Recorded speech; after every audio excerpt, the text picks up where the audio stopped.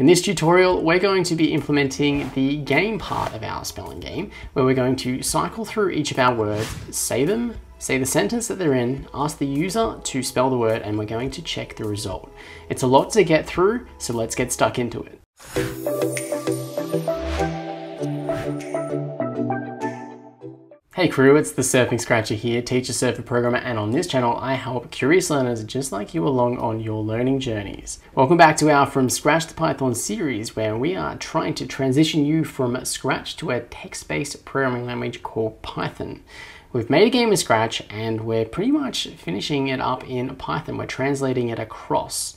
We've got a few more things to implement. If you're just jumping into this tutorial, go check the card in the top right hand corner right now or a link to the starter project down in the description to follow along. First up, we're going to go through and implement all of these custom blocks here and then we'll come back to this when the green flag is clicked block to implement it in Python. So let's go check out the say word block. So here we see the say word custom block and we say a word, then we speak it, and we're going to wait a second. So in this tutorial, we're just going to print the word to the screen and we're going to implement the text-to-speak engine in future videos. So over here in Python, we need to create the corresponding function.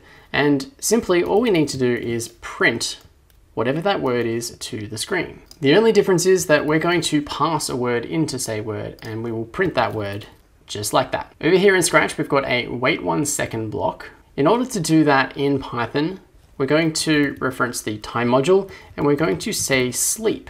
And we're going to sleep for one second. Now you'll see I've got a red squiggly line here. I need to go and import the time module. So I'm going to scroll all the way to the top. And you can see up here when I've been referencing pprint or preprint that I had to import it. And we need to do the same thing with time. These import statements are a little bit like the extensions in Scratch. So if I open up the extensions, we've got the music extension, the pen extension. We can't use these until we import them into our Scratch project. And it's very similar to the time and pprint. There's so many different modules out there that other people have written that you can use by just importing them and you get it for free. Pretty neat. Okay, let's scroll back down to say word. Okay, so let's run our project and let's just test that function. We're going to pass in a string value and let's just say hi. And then we go, we've got some text printed to the console hi. So that is working as we want it to. We're going to do a similar definition for the sentence. So I'm just going to copy all of that and instead of word, we're going to have sentence. Sentence is the parameter and we'll have sentence and we'll print the sentence to the console. We're going to sleep for five seconds here because we need a little bit more time to read the sentence. Now, you might notice a little bit of duplication going on here, and you might ask the question, hey, could we just use one function for both of these? And the answer to that would be, yeah, sure, why not? You could just generalize it. You could make this a say function and say the sentence that you want, and that would actually work for both of them. You'd need to add another parameter, so you could change the value of sleep here. But definitely, you could go ahead and do that if you wanted to. Okay, things are going pretty well so far. Let's implement ask user to spell words. So I've just written it down here and it's going to take a word. Now there's a special function, built-in function that we can use to request user input in the console. And the function for that is just called input. All right, and if we pass in a string to that input, it will come up with a prompt. And the text that we're going to pass it is spell the word you heard. Now this will also return the input that the user enters into the console. So we're actually just going to return that exact value. You might notice that, hey, is it a little bit overkill to be using a function to just call a different function? And yeah, you're probably on the right track there as well. You might notice as well that we're feeding it a word, but we're not actually using it. And we will come back to this down the track because we want to actually use this for the text-to-speak engine. So we don't have it in there just yet. So that's why we will be using this function. Okay, I've just pressed the green run button. I've just pasted in the function name and we're going to press enter. And you can see here the console has asked us to spell the word. We can put in any text here and click enter and you'll see that that becomes our return value. And so what we can do with this is we could like create a variable here and assign that variable to the result of our asking of the user to spell the word. So if I do that and we go hello and we check out what our attempt is now, we can see that attempt is equal to hello, whatever that attempt was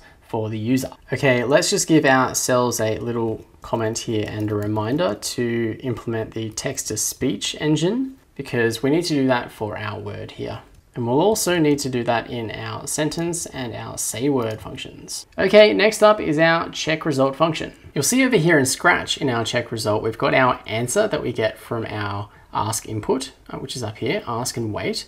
And we're also checking it against the current word. So we're going to pass those two as parameters. We're going to pass in our answer and also the word that we're trying to spell. Now the order of these don't matter. The spelling of them doesn't matter anyway, because remember I said attempt up here and we use attempt in the console. If you wanted to make that attempt, it would be fine as well. But just for consistency with Scratch, we'll use answer. And we've got an if and else block here, and we can do something similar in Python. But the way we'll do it in Python is to set up a local variable, and we're just going to assign to it a number, and the number will be zero. Remember, zero means no, it's the same as false, okay? And we can say that if the answer is equal to the word, well, then we can just set result to one. And notice, again, the two different equal signs going on here. We've got the assignment, and then we've also got the comparison. And I'm using this comparison to check two strings.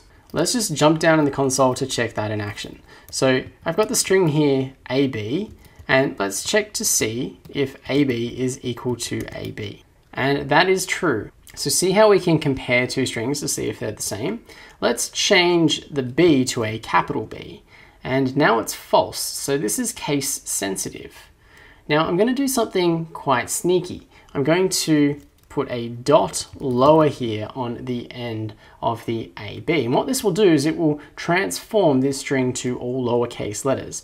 I'll hit enter and you can see it's resulted to true again. That's because it converted this uppercase b into a lowercase b. So back up here, it's going to be important to put that lower in there so we can compare whatever input the user gave us to the word. And we don't really care about the case because we just care about the spelling. Okay, the last thing we want to do is return that result. So then we can click and run our project. We can type our function check result and we can put in two identical strings. And you'll see here we get the result of one. But if we go through and we change one of those strings to B, you'll see here that we get the result of zero. And remember, it's case insensitive. So if I put in a capital A here, a lowercase a and a capital A are the same. So we're going to get the result of 1. But this will have the same bug as Scratch, because if we put a space in here, we're also going to get a false result. But there are some other things we could do in Python to strip these white space characters. But I'll leave that up to you to go and research online. Lastly, we could print some feedback to the user to let them know if they get it incorrect or correct. So just below the result on the same level of indentation, let's just print correct here. And notice in Scratch we've got the else block. To do an else block in Python, we just need to go back to that level of indentation, the same level as that if block, and put else and a colon. I'm just going to copy and paste that print statement, and I'm going to write, oops. Then I'll run our program. I've got our A and B here, and you can see, oops, we didn't get that right, but Let's make them both A and you can see, yes, we got that one correct. All right, so we're nearing the finishing stages of our game. We've implemented say word, say sentence, ask you to spell, and we've checked the result. Now we need to implement this big block here, but this tutorial is getting long and there's a little bit going on here. So we're gonna save that for the next video. In that video, we're going to be exploring lists a little bit more deeper, looking up exact values in lists, and we're going to look at a different way of iterating, which you've done in Scratch, and it's a whole heap easier in Python. So I look forward to catching you in that video, but until then, I'm off to go find a wave. I'll see you next time.